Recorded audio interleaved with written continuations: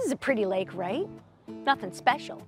But what if I was to tell you it holds 10,000 years of evidence that all point to us entering an entirely new geological epoch?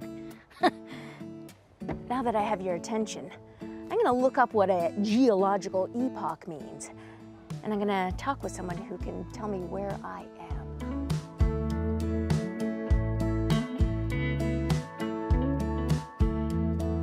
Hassan, first off, tell me where I am and why this place is so significant. Well, you're at the Crawford Lake Conservation Area, and behind us is Crawford Lake, which is a very rare, unique uh, meromictic lake. Time out. Meromictic. The lake was formed 10,000 years ago. Okay. As the glacier retreated, you know, the lake was left behind. What makes it really rare and unique is the shape of the lake. So Okay. the easiest way to describe it is it's shaped like a cone, like an ice cream cone. Oh, yeah, okay. It's very deep compared to the surface area that it has, just like a cone is. And so it has two unique layers of water. The top layer of water behaves like uh, water in any other lake, where you know it mixes with, with the air currents, with and, and oxygenation goes through the different layers.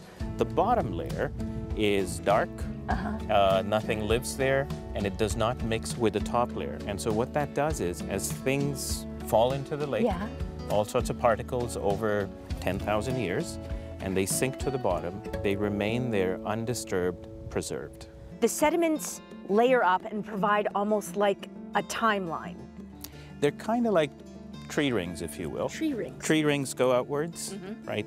And these go downwards. Yeah. And, and they're referred to as varves. And what scientists have been doing is they've been extracting a core sample from the bottom, uh-huh. and they can see those layers. Yeah. They can study them. They can test what's in those layers. And what they found is that the layers reflect what's been going on around the planet. One of the neat things they found in there was corn pollen Right. which then, you know, provoked this thinking that there may have been an indigenous community, a settlement Right. close to it for the corn to be here.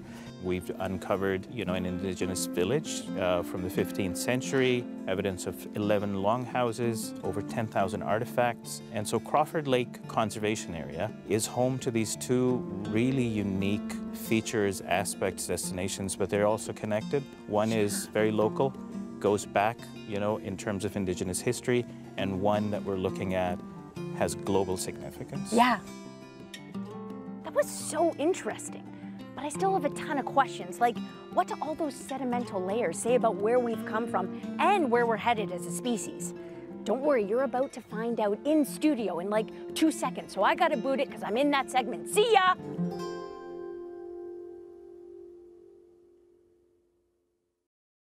There, what did you think? Drop your comments below and join the conversation. And don't forget to like and subscribe so you can find more on everything from food and fashion to pop culture and current events. See you soon.